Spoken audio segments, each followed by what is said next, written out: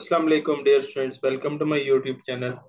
Students today we will solve this question. Let f and g be continuous function of a real uh, variable. Uh, f and g both are a continuous function of real variable such that here we are given that uh, g of x is equal to g of x is equal to 0 to x. Uh, then we have f of y and uh, y minus x y minus x and d of y for all x. If g is 3 time continuously differentiable function, what is the greatest integer n for which f must be n time continuously uh, differentiable? So if g is 3 time continuously uh, differentiable, we want uh, how much time the f is uh, continuously different. One time, two time or three time. So here we are given that one time, two time, three time, four time, five time.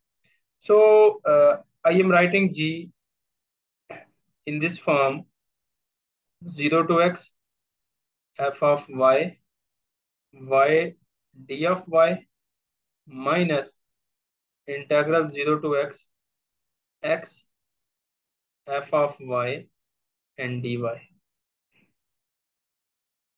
So you can see that just I can separate uh, y minus x. So I am again simplifying this equation.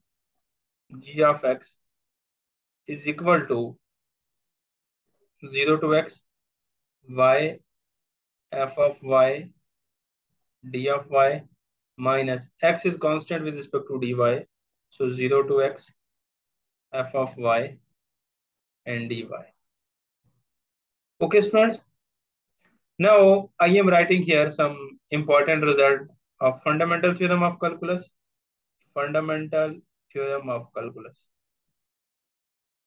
you know that if we have integral from a to b, f of x and d of x. So we can write this in form of f of b minus f of a. Okay. Or we can write f prime of x, which is integral of the f of x, small f of x, is equal to f of x. Or we can write the f of x integral is equal to derivative of the function. Okay. Now, if I use here integration by parts, here we are, uh, our integral is, so uh, here our integral is basically 0 to x, 0 to x, y, f of y, d of y, and I am using here the integration by parts. Okay, so integration by parts gives me first function, integral of the second function, which is equal to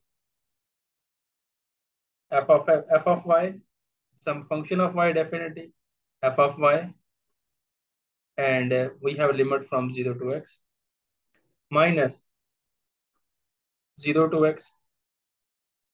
The derivative of the first function with respect to y is 1, then we have f of y and d of y. So basically integral of f of y is again the function of f of y. So we can write this in this form. It's not a big deal. So now this is equal to x. f of x, when we put the limit 0, it is equal to 0 minus 0 to x f of y d of y. Now we use this result in this place of this here in this integral. So now it's mean that by fundamental theorem of calculus, uh, we can write this g prime of x is equal to integral of this side x f of x minus 0 to x f of y d of y minus x f of x because the integral of this is, you know that x and uh, by fundamental theorem of integral, this integral is f of x. Okay, so this term cancel with this term. So we have minus integral 0 to x f of y d of y. Now, if we take the second derivative of g of x, So by fundamental theorem of calculus, we have f of x minus and f of 0. So f of 0 is basically f of 0 is basically some constant. Okay. So it's mean that g prime of x is minus f of x minus minus plus f of 0. Now we are given that g is three time differentiable. g triple prime of x is equal to minus f prime of x and derivative of constant function is equal to 0. So it's mean that g triple prime of x is equal to minus f prime of x. It's mean that f is f is one time differentiable.